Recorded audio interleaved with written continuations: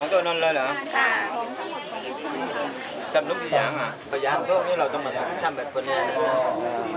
ก็ไม่ได้เน้นหมดเลยทีเดียวนะครับ ไม่ว่าจะเป็นพัทลุงนะครับ ไม่ว่าจะเป็นนครนะครับเริ่มพันอาจารย์เป็นดีพี่น้องชาวพุทธ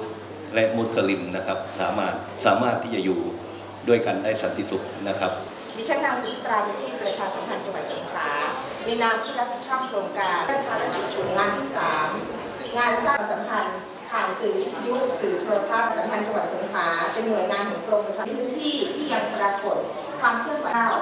โดยจัดโครงการย่อยคือเวทีสิซึ่งครั้งนี้เป็นครั้งที่หนึ่งนะคะ80ท่านได้มาร่วมรับฟังนะครับ ท่านนายอำเภอนาทวี ท่านประชาสัมพันธ์จังหวัดสงขลาการสนับสนุนให้เกิดความสันติสุขำหรับภาพความรักความสามัคคีของชุมชนไทยพุทธและไทยมุสลิมพัน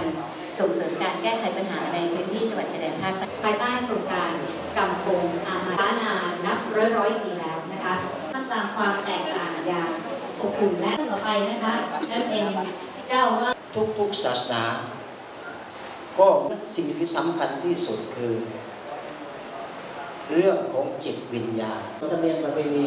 พุทธก็มีขนบธรรมเนียมประเพณีเป็นข้าวปูหนังนะครับท่านก็เรียกปูหนังถามว่างานสิริมงคลเนี่ยคืออะไร ภาษาอาหรับบอกว่าคำว่าสิริมงคลคือเรื่องของยามาอะห์เป็นสิ่งที่สำคัญที่สุดก็อย่าง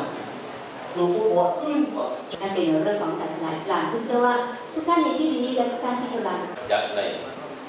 หมู่บ้านดำรงนะครับ จริงๆแล้วเนี่ยเรามาแสวงหาจุดรวมในที่นี่ครับทั้งเจ้าพุทธ อิสลามไม่ได้อยังจัดเจนครับเป็นประมุขของประเทศของเรานะครับถือว่าแต่บอกท่านนี้ไว้อีกปัญหาจะมีเกิดขึ้นไม่ใช่เฉพาะคนชาวพุทธครับ คนมุสลิมก็นี่คือพื้นฐานการดำเนินชีวิตเพราะฉะนั้นอะไรครับคือความแตกต่างในศาสนาครับโครงการนี้ก็ถือว่าเป็นโครงการที่ตอบสนองนโยบายของรัฐบาลนะครับ ที่จะ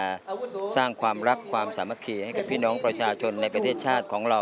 ให้มีความรักมีความสมัครสมานซึ่งกันและกันนะครับ โดยเฉพาะในพื้นที่จังหวัดชายแดนภาคใต้ 3 จังหวัด และก็ 4 อำเภอของสงขลานั้น แน่นอนที่สุดนะครับก็มีในอดีตเราเราก็มีปัญหาเยอะแยะมากมายนะครับ แล้วก็ปัจจุบันก็ยังมีปัญหาในเรื่องของความเชื่อถือศรัทธานะครับ ความไว้เนื้อเชื่อใจอ่าเป็นเรื่องของสังคมจิตวิทยาระหว่างพี่น้องประชาชนนะครับ โดยเฉพาะสองศาสนาคือพุทธและก็อิสลามเยอะนะครับ วันนี้ได้เห็นภาพของพี่น้อง ทั้งพุทธทั้งมุสลิมนะครับ โดยเฉพาะในตำบลคลองทรายแห่งนี้เนี่ยมี 8 หมู่บ้าน มีพี่น้องมุสลิมคือหมู่นี้หมู่ 8ตำบลคลองทรายอีก 7 หมู่บ้านเป็นพี่น้องพุทธ แต่เท่าที่เราเข้ามาในพื้นที่กับทางเจ้าหน้าที่ที่รับผิดชอบนะครับ พี่น้องมีความรักความสมัครสมานสามัคคีกันมาก มีการรวมกลุ่มกันทำกิจกรรมที่ดีๆนะครับ แล้วก็อ่ามีการไปมาหาสู่อ่าใช้คำว่าไม่ไม่มีอคติกัน โครงการนี้ถือว่าเป็นโครงการที่สร้างความรู้สึกความเป็นพี่น้องกัน ให้มากขึ้น ให้มีความเข้าใจระหว่างกันนะครับ บางทีพี่น้องมุสลิมก็มองว่าเอ๊ะทำไมเรื่องนี้พี่น้องพุทธทำอย่างนี้วันนี้ก็มีความเข้าใจเกิดขึ้น พี่น้องพุทธก็มองว่าเอ๊ะทำไมเรื่องนี้พี่น้องมุสลิมบอกว่าไม่ได้ ก็ต้องมีความเข้าใจเกิดขึ้นนะแล้วก็แสวงหาจุดร่วมนะครับ แล้วก็สงวนจุดต่าง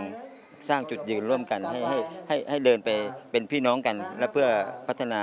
อ่าบ้านเมืองพัฒนาสงขลาพัฒนาประเทศไทยของเราครับ